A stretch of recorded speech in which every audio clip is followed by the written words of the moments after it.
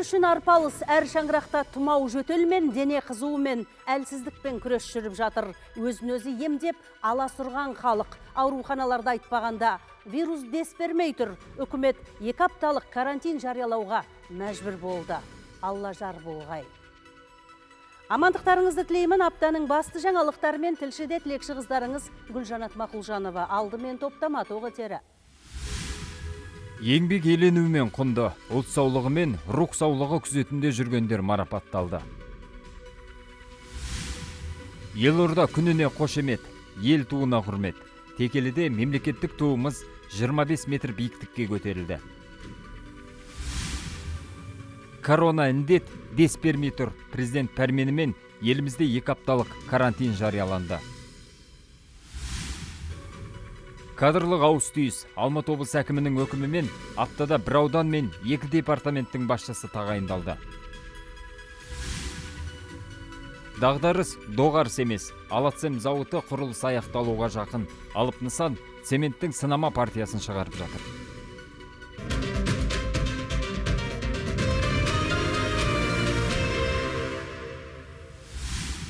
Жақсы сөз жарым ырыс. Елбасы коронавирустен айықты. Отандық дәрігерлерге абырой, ел көңіліне медеу. Аптада Қазақстан халқына үндеуде жариялады. Сырқаттанған кезде алаңдап, сауығып кетуін тілеген ел жұртына алғысы. Ұлт көшбасшысына отандық өндіріс ұжымдары, белгілі өнер және спорт майталмандары, қарапайым қазақстандықтар жедел хаттар жолдапты. Нұрсұлтан Әбішұлы әлемдік деңгейде мойындалған саясаткер 30-ға тарта мемлекет басшылары мен әйгілі қайраткерлері де тез жазылып кетуіне тілектестік білдіріпті. Қымбатты отандастар, қадірлі достар, миллиондаған адам осы ауыр дертпен сырқаттанды. Ол мені де айналып өткен жоқ. Бірқатар шет мемлекеттер мен үкімет басшыларының көрнекті саясаткерлер мен қоғам қайраткерлерінің шынайы жанашырлығын танытып, маған моральдық қолдау көрсеткені көңілімді тебірентті. Баршасы қалтқысыз ниеттестігін жеткізіп, сергектік тілеп, тезірек сауығып кетуіме тілектестігін жолдады. Сол үшін бәріне зор ризашылығымды білдіремін. Халқымыз басқа түскен қиындықты өзінің қайрат жігері, ұйымшылдығы, болашаққа деген ұмтылыс арқылы бүкіл халықаралық қоғамдастықпен бірге лайықты түрде еңсеріп, аман есен шығарына сенімдімін. Біз тағы да жеңімпаз боламыз. Еліміздің жақсы күндері алда. Қазақстан Республикасының тұңғыш президенті елбасы Нұрсұлтан Назарбаев. Ертең елорда күні Ақмолаға алғаш таңдау түскеніне 26 жыл, Алматыдан көшіруге жарлық шыққанына 23 жыл. Ақмола атауы өзгеріп, Астананың тұсауы кесілгеніне 22 жыл. Ал Қазақстан Республикасының астанасы Нұрсұлтан болып, қайта аталғанына бір жыл шайдан асты. Ширек қасырда әлем таныған қала салды қазақ. Ел жүрегі, мемлекет тірегі. Жасай берсін.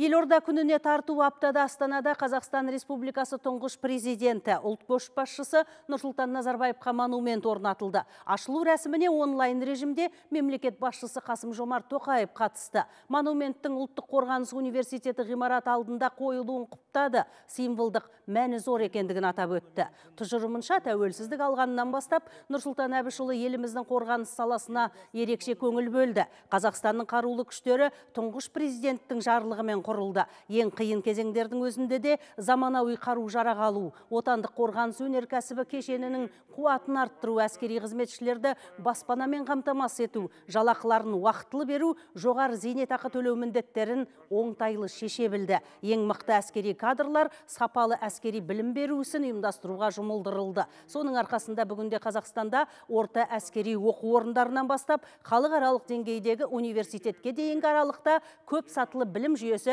қалыптасты дейді мемлекет басшысы. Кез келген мемлекеттің тарихында өшпес із қалдырған бірге тұлғалар бар. Олардың сіңірген еңбегін бағалай білу және жан-жақты дәріптеу өскелең ұрпақтың парызы. Біз еңбегі ерен тұғырлы тұлғамызды ұлықтай алмасақ, елдіңізге сын. Тұңғыш президентімізге арналған монумент тәуелсіз Қазақстанның барша жастарға, әсіресе әскер қатарындағы жастарға өнеге болатынына сенемін. Бүгінде айбынды армиямыз мемлекеттілікті нығайтуға, зор үлес қосып келеді Еңбек еленуімен құнды. Елорда күні қарсаңында Қазақстан Республикасы президентінің жарлығымен елге еңбек сіңген бір топ азамат марапатталды. Ұлт саулығы мен руханияты күзетінде жүргендер, ақ халаттылар армиясының батырлары мен ақпарат майданының белсенділері. індет айтып келмейді сондықтан пандемияның алғашқы күндерінен ақ елбасы үндеуімен ел бірігіп мемлекет басшысының бастамасымен алдыңғы орында батылда, батылда табанды азаматтар шығып нағыз қайсарлық шеберліктің үлгісін көрсетті. Сіздердің арқаларыңызда коронавируспен күрестің күрделі кезеңдерін еңсеріп келеміз. Біз сіздерді мақтан тұтамыз. Қажырлы еңбектеріңіз үшін алғысымызды білдіреміз. Бұл марапаттар бұрынғылардан ерекше. Әлемді тізерлеткен корона індетпен күресіп жүргендерге табысталды. Алғашқы топ ақ халаттылар өз басын қатерге тігіп өзгенің өміріне араша түскендер. Қазақстан республикасы президенті тиісті жарлыққа жиырмасыншы маусымда қол қойыпты. Алғашқысы парасат ордені. Панфилов аудандық көпсалалы ауруханасының бас дәрігері төлеу сарпек марапатталды. Шекара шебінде жатқан аудандағы ахуал тұрақтылығына кепіл бола білген тұлға. Бұл марапат тек қана жаңағы осы бір топ азаматтардың ғана емес осы алматы облысындағы жетісу өңіріндегі уақытпен санаспай жұмыс істеп жатқан барлық денсаулық сақтау қызметкерлерінің марапаты деп ойлаймын. Бүгінгі алған марапатымыз алдағы уақытта біздің жұмысымызды осы облыс тұрғындарының денсаулығына деген жаңағы жұмысымызды одан әрмен жігерлендіріп күш береді деп ойлаймын. Дәрігерлер қандай да құрметке лайықты. Облыстық фтизио пульмонология орталығының бас дәрігері дәрібек әсемғалиев пен жедел жәрдем станциясының дәрігері светлана паққа құрмет ордені табыс етілді. Ерен еңбектері ескеріліп сала өкілдері света бекбергенова зарқан сатыбалдинова шолпан тоқышева мен алма арсбековалар кеуделеріне медаль тақты. Тағы үш маманға қазақстан республикасының құрмет грамоталары берілді. Тізімде ақпарат саласының өкілдері де бар.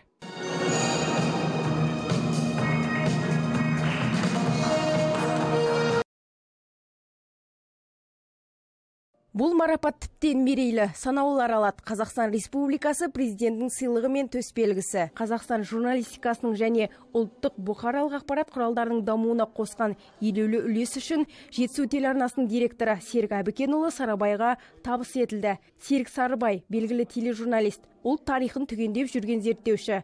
Бұрынғы еңбегі бір төбе. Тек аймақтық телеарнада қазақ қандығына 550 жыл 40 сериалы деректі циклін түсірді. Жетісу жұмбақтары тіл сақшы болмыс тағдыр мен тұлға тарих таразысы сынды салмақты жобалардың авторы.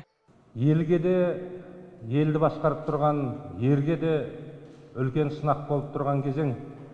Сол кезеңде алдыңғы шепке суырылып жанын салып қоғамға мемлекетке ең керек мамандықтар алға шықты сол үшін мына қиян кескі аласапыран майданда алдыңғы шепте бой бермей күндіз түні дамыл таппай күрескен дәрігерлер қауымы сіздерге зор алғыс білдіреміз басымызды иеміз сіздердің осы жұмыстарыңызды көрсетіп сіздер тән саулығы үшін жан саулығы үшін күресіп жатсаңыздар журналистер қауымы ой саулығы үшін күресіп жатыр сондықтан да бүгінгі мынау ұшан теңіз еңбектеріңіздің сәл де болса еленгеніне президентіміз қасым жомарт кемелұлы тоқаевқа үлкен рахмет айтамыз. Жетісу телеарнасы ұжымының қуанышы бұл ғана емес. Екі бірдей жетекші маманы қазақстан республика президентінің алғыс хатымен марапатталды. Олар жаңалықтар бөлімінің бас редакторы назгүл бошан мен бас продюсер жұмахмет жайлаубаев. Қазір өте бір қиын кезең. Бұл өзі тарихтың бір талма түсі деп айтсақ та болады ғой. Өйткені күнде неше түрлі жағдайларды естіп жатырмыз. бір көңіліміз пәс болып жүрген бір сондай бір сәттерде бүгін бір жарқ етіп күн шыққан сияқты сондай бір жақсы әсерде болдық.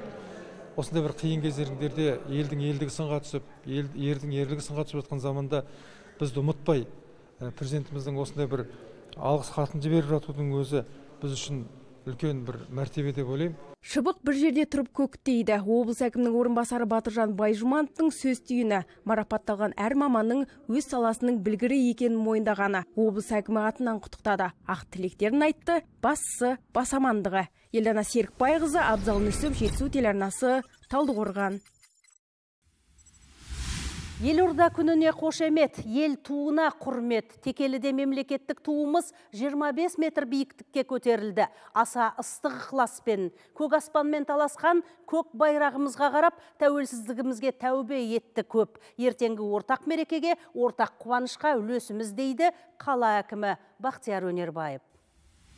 Тұғыры биік ту шаһардың тәуелсіздік алаңына қойылды. Мемлекеттік рәмізді көтеру мәртебесі текелілік жас спортшы. Каратеден әлем чемпионы Әсемай Акрамбекке бұйырды. Спорт майталманы 25 метрлік туды текелі төрінде желбіретті.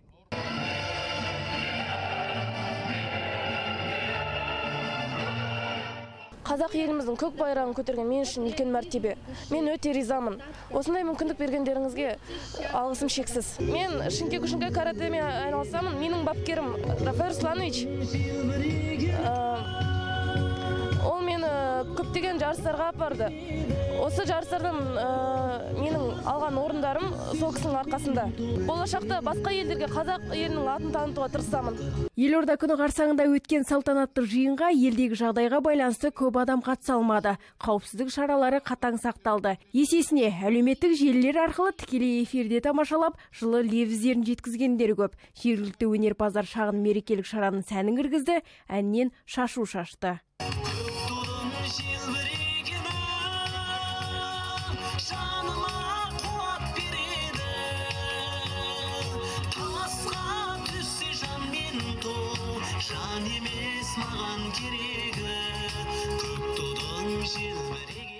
Кеншілер қаласындағы жаңалық бұл ғана емес. Елорда күніне балалар спорт алаңы тарту етілді. Мұнда ел ертеңіне айналар жас буын енді уақытын тиімді өткізетін болады дейді мұндағылар. Ашық аспан астындағы алаңға балалар қауымы мәз. Қала әкімі доп таратып қуаныштарын еселей түсті. Алаң әмбебап доп ойындарының бірнеше түрінен жаттығуға болады.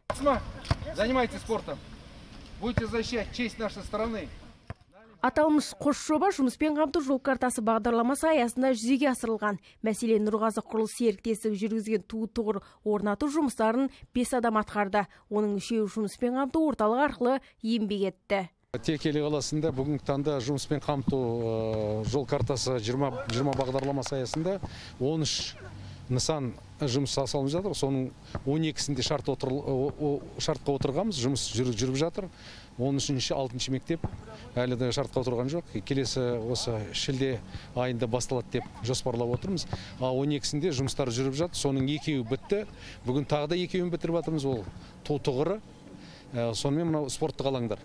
Спорттық алаңдардың осы аудан микро ықшам аудандарда алтауы жөнделіп үшеуінде осындай жұмсақ төсенділер төселінген қалғандарда ағымды жөндеу жұмыстар сонымен қатар рудный ауылында ауылдық футбол алаңы салынып бітеді. Соның бәрін осы елорда күніне орайландырып ашып жатырмыз. Жылда біз елорда күніне текеліктер текелі тұрғындары осындай жақсы жаңалықтармен келеміз. Жалпы текелде жұмыспен қамту жол картасы шеңберінде 13 жоба іске асырылған. Оларға бөлінген қаражат сомасы 1 миллиард 837 миллион теңге. Оған 200-ден аса тұрғын еңбекке тартылыпты. Айта кетейік, бұған дейін мемлекеттік бағдарлама арқылы Көктөбе бақылау алаңына 12 метрлік ту тұғыры орнатылған болатын. Көк тудың көп болғаны жақсы дейді Бақтияр Өнербаев. Көк байрақтың елдің еңсесін көтеріп, рухтандырар қасиеті бар. Елдана Серікбайқызы, Ержан Дүйсен, Жетісу телеарнасы Текеліден. Ең қажет, ең құнды сыйлық. Елорда күні қарсаңында Алакөлдік ақ халаттылар жомарт сыйлыққа кенелді. Жетісулық меценаттар ауданға екі жедел жәрдем көлігін тарту етті. Нақтысы республикалық біргеміз жетісу қоғамдық қорына түскен қаражатқа алыныпты. Су жаңа техника Ақши мен Көктұма ауылдарының амбулаторияларына тиесілі. Жуық арада іші қажетті құрал жабдықпен толықтырылып, көл жағалауына жөнелтіледі. Қажеті қат бұрыннан. Жай күндері бұл ауылдардан орталыққа 20-дан аса шақырту түсіп жататын. Шомылу маусымында жедел шақыртулар тәулігіне жүзден асып кетеді дейді мамандар. Сондықтан Алакөл аудандық орталық ауруханасы бас дәрігерінің орынбасары Құрмет Абзалұлы қос кілтті қуана алды. Игілігін ел көргей. Бұрында бір көлік болатын, қазір еңгітаны үш көлік болады осы ақши көктұма ауылдық амбулаторияларында соның нәтижесінде? Соның нәтижесінде енді демалушылардың да көңілін табамыз деген ойдамыз. Ең бастысы жедел медициналық көмек көрсетіледі. Медициналық сапа жоғарылайды. Көмектесу уақыты жиілейді. Күтіп қалу уақыттары азаяды. Вот осы жағынан өте елеулі көмек.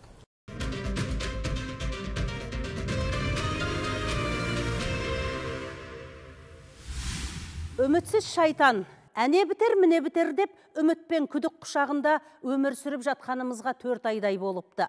Үш күннен соң көрге де үйренесің деп қазақ бекер айтпаған екен. Коронавирус көршімізге айналды. Алғашқы науқас 13 наурызда тіркеліп еді. Антирекорд орнаттық. 46 мыңнан асты. Тәулігіне бір жарым мыңға дейін сырқат тіркеле бастады. Үйді үйінде ем алып жатқандар қаншама. Дес бермей тұр. Е деп обастай елең қылмаған қазақы болмысымыздың да салдары. Әрі вирусте мутацияланып кетіпті. Денсаулық министрлігі дабыл қағып жатыр. Үкімет екі апталық карантин жариялады. Президент пәрмені мемлекеттік комиссия 5-19 шілде аралығына шектеу шараларын жариялады. Коронавирус әлем халқын тізерлетті. 12 миллионға жуық азамат COVID-19-ды жұқтырды. 535 мыңы дерттің құрбаны болды. Қазақстан да қалыс қалмай тұр. 215 елдің ішінде 35 орында. Президент бұған қатты алаңдаушылық танытты. Нәтижесінде карантин шараларын қабылдауға тапсырма берді. Жауаптыларға сөгіс жариялады. Жұмыстағы кемшіліктері үшін Нұрсұлтан және Алматы қалаларының әкімдері Алтай Көлгенов пен Бақытжан Сағынтаевқа ескерту жасаймын. Шымкент қаласының Ақтөбе және Павлодар облыстарының әкімдері Мұрат Әйтеновке, Ондасын Оразалинге, Абылқайыр Сқақовқа және ведомство аралық комиссияның төрағасы Ералы Тоғжановқа сөгіс жариялаймын. Атырау, Қостанай, және батыс қазақстан облыстарының әкімдеріне тиісті өңірлердегі ахуалды түзеу қажеттігін ескертемін бұл барлық облыстардың басшыларына да қатысты Елдің 47 мыңнан аса тұрғыны кеселді вирусты жұқтырды. Олардың 2700-і жетісулықтар. Сондықтан аймақ билігі де кешенді шараларды қабылдап жатыр. Аптада әкімшілікте бірнеше кеңес өтті. Нақты ахуал сараланды. Кейбіреулерінде жаңа коронавирус болмағанмен пневмония дейді жаңағы ли семьялармен ауырып жатқандар көп. Той томалақтарымыз тоқтамаудың әсері. Вот. Жаңа басқа да әйтеуір сылтау көп бізде. Көп жиын тойларды тоқтату керек. Жай халық түсінбейді әлі де санасына көбісіне жетпей жатыр. Вот осы мәселелерді мұқият қараңыздар. Әсіресе аудан әкімдері сіздер ие болыңыздар елге Қазір елде жедел жәрдем жетіспеушілігі өзекті. Сондықтан коронавирустың жеңіл әрі симптомсыз түрін жұқтырғандарға республика бойынша көшпелі бригада ақылы қызмет көрсетеді. 383 бригада құрылды. Құны 5400 теңге. Алдағы уақытта олардың саны 3000-ға дейін көбейеді. Бригаданың екінші түрі ковид расталған пациенттерге үйде медициналық көмек көрсетеді. Қазіргі уақытта 165 мың пациент амбулаториялық жағдайда медициналық көмек алуда. Бригаданың үшінші түрі созылмалы аурулары бар пациенттерге басқа да хроникалық аурулары бар онкология аурулары бар медициналық көмек көрсетеді. Жүкті әйелдер мен балаларға патронаж жүргізеді. Еске салайық, елімізде 103 жедел қызмет әрдайым тегін. Алматы облысында бұл байланыс орталықтандырылған. Арнайы кол орталық қызмет етеді. Мұнда тәулігіне 17 аудан мен 3 қаладан 4,5 мыңға жуық қоңырау түседі. Олардың 3 мыңына жедел медициналық жәрдем бригадасы қызмет көрсетеді. Дегенмен пандемияға байланысты тапшылық бар. Сондықтан министрлік ел аймақтарындағы медициналық көліктер қатарын толықтырмақ. Отандық өндірістен 8 207 автокөлік сатылып алынады. По области работает 165 бригад. облыс бойынша 165 бригада жұмыс істейді. Бұл алайда өңірдегі ахуалға байланысты жеткіліксіз. Алматы облыстық әкімдігі жағдайға байланысты медициналық қажеттіліктерді толықтыруға шешім қабылдады. Нәтижесінде ағымдағы жылы 105 көлік сатып алынады. Алғашқы көліктер қыркүйек айында әкелінеді сәйкесінше бригадалар саны да толығады. Қазіргімен салыстырғанда екі есе артығымен қызмет көрсететін болады. Ескерте кетер жайт енді елде карантин талаптарын бұзғандар айыппұл арқалайды. Бүгіннен бастап шектеу шараларын сақтамаған жеке тұлға 30 ал кәсіпкерлік субъектілері 230 айлық есептік көрсеткіш көлемінде қаржы төлейді. Біздің ел тығылып той тойлап бетперде киюді әлі де ұят санайтындар да жоқ емес. Мысалға келтіретін болсақ амбарларға тығылып той жасау артқы есіктен кіріп қыз ұзату аулаға той жасау құдалық өткізу ас беру туған күн тойлау сияқты тағы да басқа шаралар толып жатыр. Оны оған өздеріңіз де көптеген азаматтардың өздері де куә. Осындай әр шараның соңында кемінде жиырмадан астам адам ауруханаға түсіп қаза болып жатқандары да мәлім. Өңірде екі апталық карантин енгізілді. Алматы облысы әкімінің міндетін атқарушы серік мелесұлы осы мерзімді жауапкершілікпен өткізсек тәжді вирустың таралуын тоқтатуға болады дейді. Сондықтан өңір тұрғындары жауапкершілікті сезініп өзге мен өз өмірі үшін сақтық шараларын қатаң сақтауы тиіс.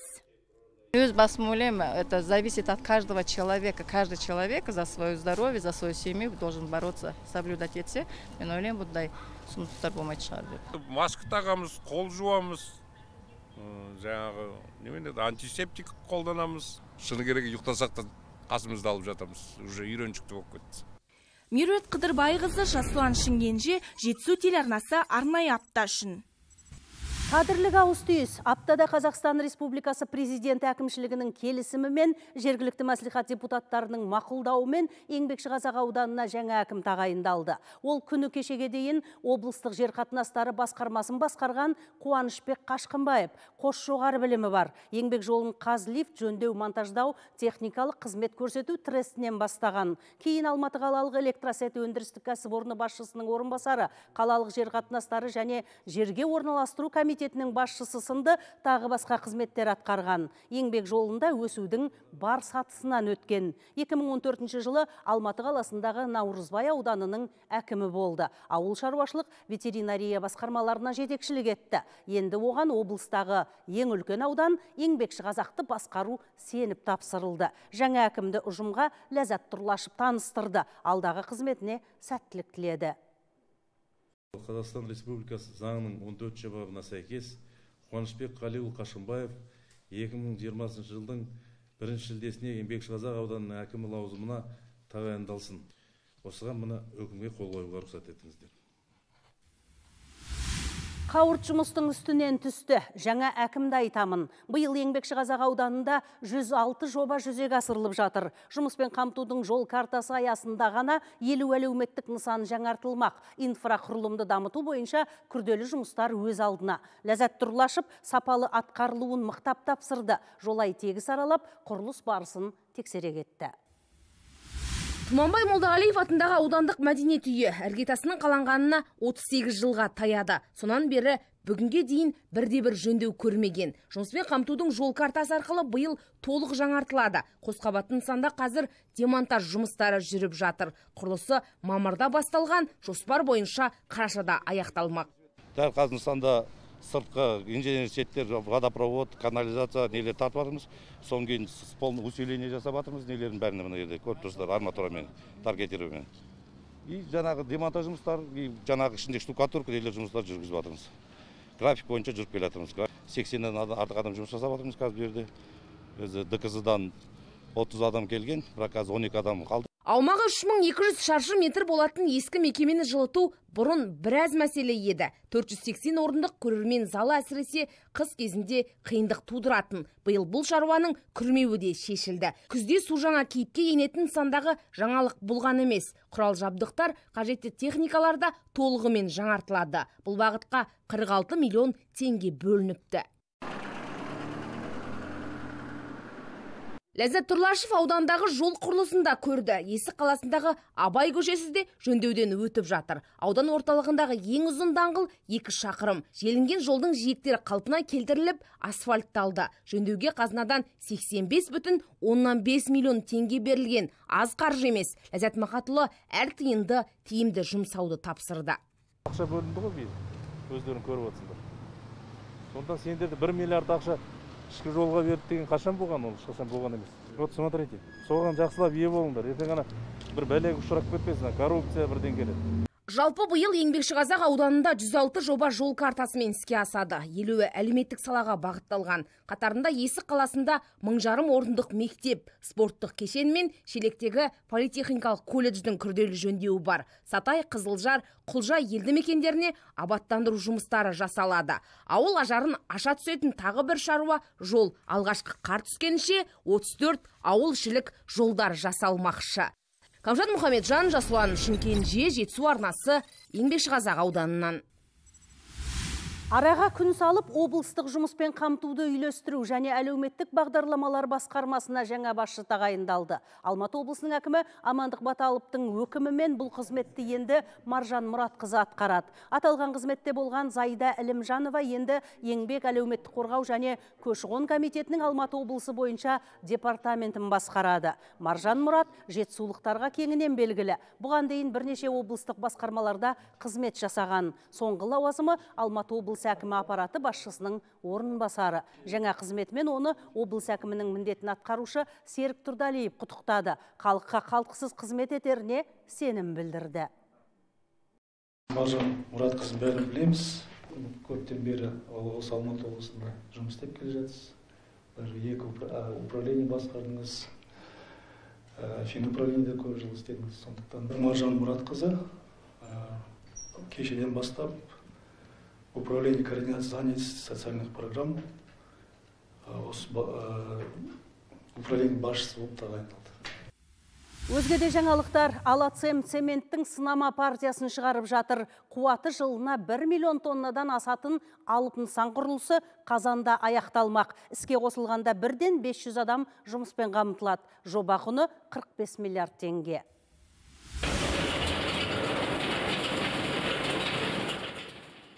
Қазақстан Сингапур бірлескен жобасы бұл аты Алацем нысан құрылысы аяқталды. Бүгінге қондырғылар тексеріліп, цементінің сынама партиясы шығарылып жатыр. Жалпы зауыт қуатты жылына 1 миллион 200 мың тонна цемент шығарылады. Алацем цемент зауыты 95 пайызға жұмыс істеуге дайын. Мамандардың айтуы бойынша қазан айының басында толығымен қолданысқа берілмек. Жұмысқа кіріскен күннен бастап тәулігіне зауыт 7000 тонна цемент шығаратын болады все местные жители Секирболского района.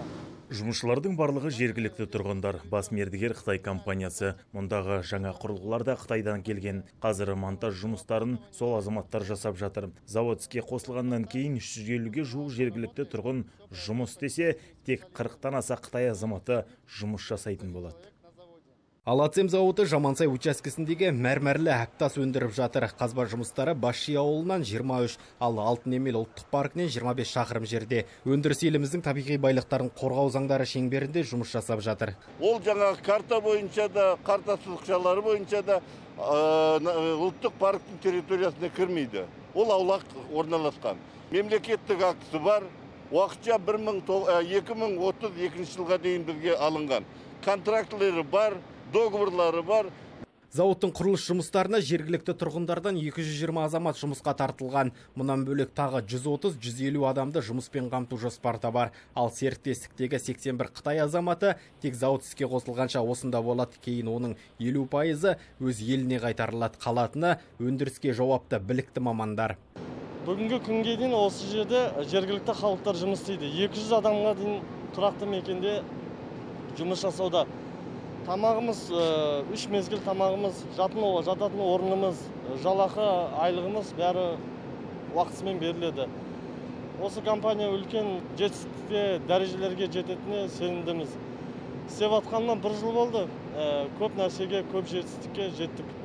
Жаңа цемент зауыты әкімшілігі әлеуметтік жауапкершілікті абыроймен атқарып отыр. Биыл сарыөзек көктал автомобиль жолын қыста күреп ойық жерлерін жөндеу жұмыстарына 60 миллион теңге бөліпті. Алдағы уақытта да аудан облыс тыныс тірлігіне түрлі демеушілік жасауға даяр. Рахат рахымжанов әсет дүйсенбек жетісу арнасы.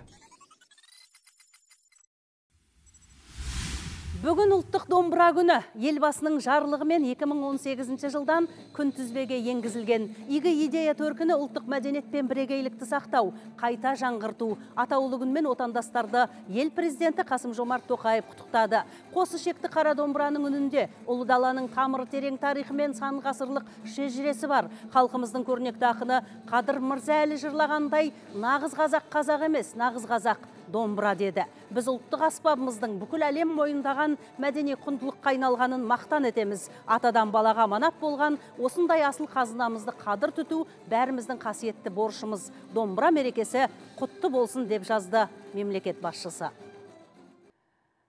Бүгінше осы назарларыңызға рахмет. Індеттен құтылып, еш шиып, қасиетті қара домбырадан қуаныштың күйін төгір күн тез туғай. Сақ болайық, сау болайық. Жексенбіде жүздескенше.